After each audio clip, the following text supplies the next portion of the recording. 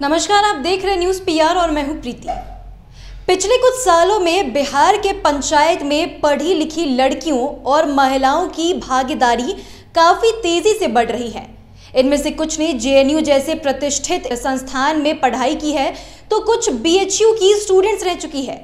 इन्होंने अपने करियर की परवाह किए बगैर पंचायत स्तर से जुड़ी और आज कई सारे महत्वपूर्ण पदों पर आसीन होकर के निर्णय ले रही है।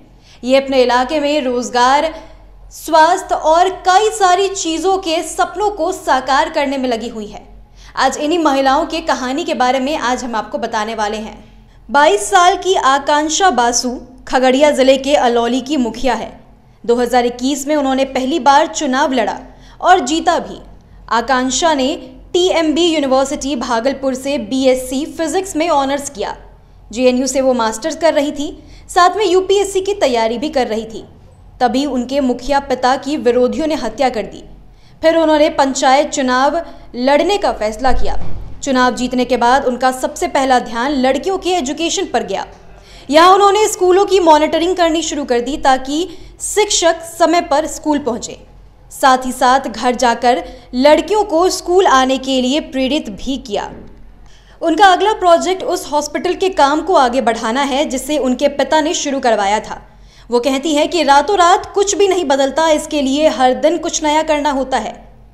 वहीं गरिमा देवी, सिकरिया बेतिया के वार्ड संख्या 24 की मुखिया है। बक्सर से बीएससी जूलॉजी में ऑनर्स करने के बाद उन्होंने advance diploma in interior designing का कोर्स बीएचयू से किया। 2017 में वो पहली बार मुखिया का चुनाव जीती, उसके बाद बेतिया नगर परिषद की चेयरमैन बनी। अपने पद पर रहते हुए उन्होंने अपने क्षेत्र में रोड डेवलपमेंट पर फोकस किया ड्रेनेज सिस्टम को सुधारा, कई पार्कों का निर्माण कराया, अतिक्रमण की स्थिति को सुधारने के लिए कई महत्वपूर्ण कदम उठाए वाटर लॉगिंग की व्यवस्था को सुधारा। गरिमा देवी का कहना है कि राजनीति में महिलाओं के लिए बहुत सारे अवसर है। इस क्षेत्र में महिलाओं को बड़ी संख्या में आना चाहिए।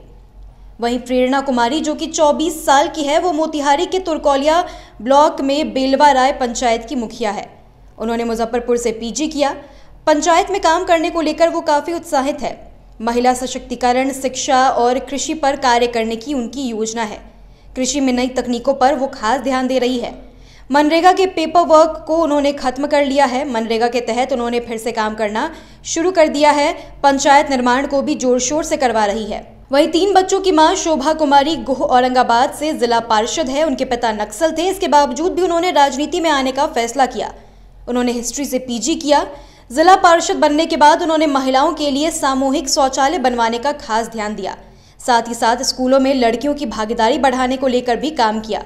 महिलाओं की समस्या को लेकर वो काफ़ी जागरूक रहती हैं और आगे बढ़ चढ़कर उसे सुलझाने का प्रयास भी करती है।